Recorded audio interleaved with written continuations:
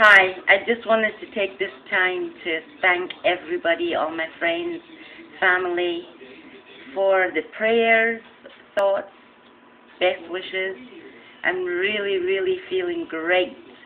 And you see, your girl is smiling, so I'm good. Thanks.